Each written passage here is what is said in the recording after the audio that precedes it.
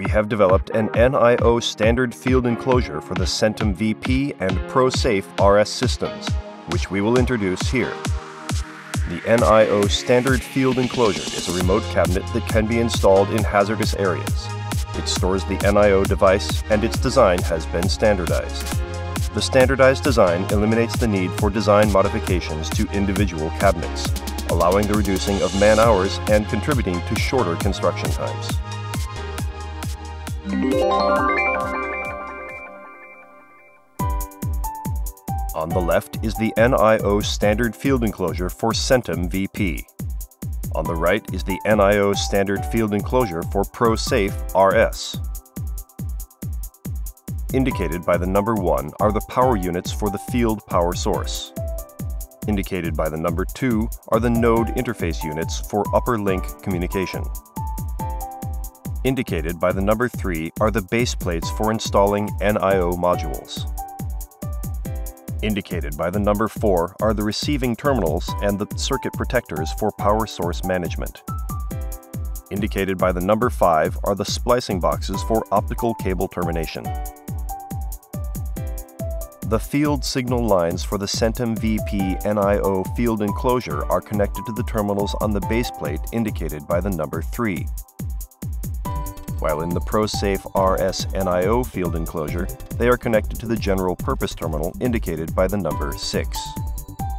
The ProSafe RS NIO field enclosure is equipped with a general purpose terminal indicated by the number 6 for supplying power to 3 and 4 wire field devices.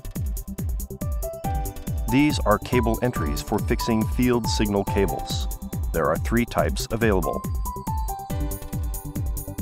This is a plate for cable glands for fixing field signal cables using a cable gland. This is a plate for sealing system frames made by Roxtec for fixing field signal cables using a sealing pad. This is a gland plate for fixing field signal cables that can only be installed in safe areas, allowing the cable holes to be drilled anywhere.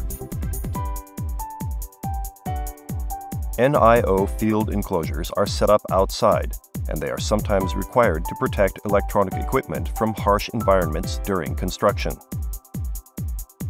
In such situations, they can be installed by flexible installation.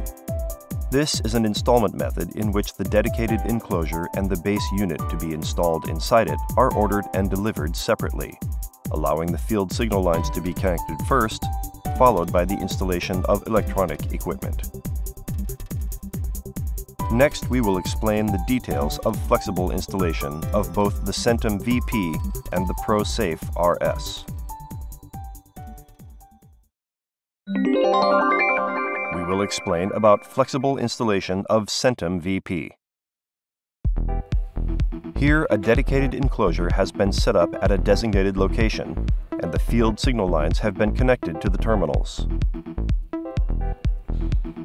After connecting the field signal lines, the terminals are moved out of the way to allow installing of the I.O. base unit. Next, the I.O. base unit is installed. After installation of the I.O. base unit, the terminals are fixed to the base plate.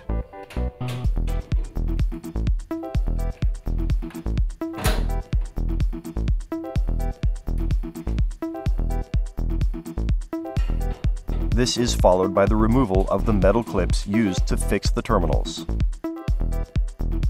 After removal of the metal clips, the I.O. base unit is moved to the designated position to screw it into place. Next, the power base unit is installed.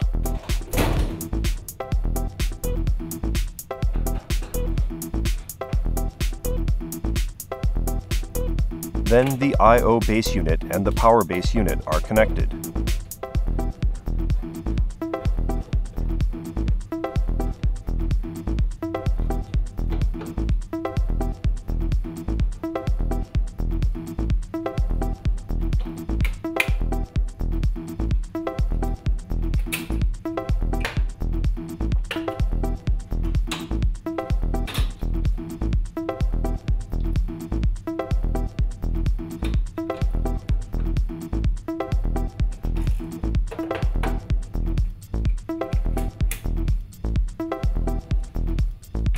The power lines of the power base unit are connected to the AC terminals.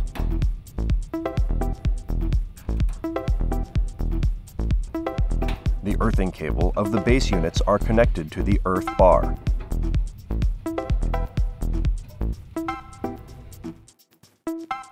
And that completes the installation.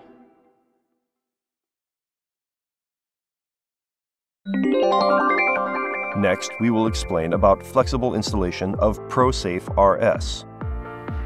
Here, a dedicated enclosure has been set up at a designated location, and the field signal lines have been connected to the terminals. After connecting the field signal lines, the terminals are moved out of the way to allow installing of the I.O. base unit. Next, the I.O. base unit is installed. After installation of the I.O. base unit, the terminals are fixed to the base plate.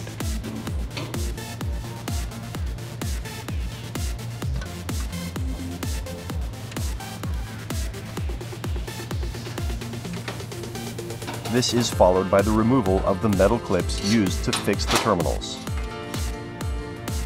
After removal of the metal clips, the I.O. base unit is moved to the designated position to screw it into place. The dedicated 3-4 power lines of the field terminal are fixed to the I.O. base unit. Next, the power base unit is installed.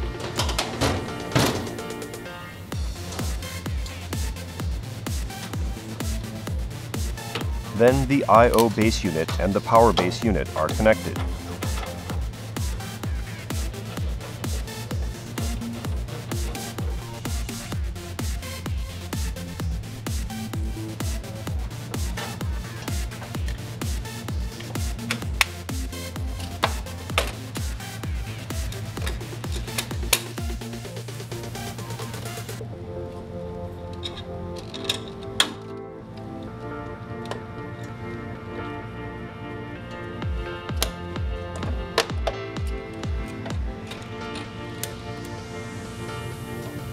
The power lines of the power base unit are connected to the AC terminals.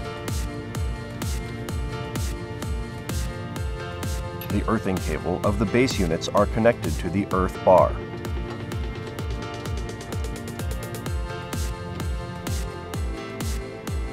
And that completes the installation.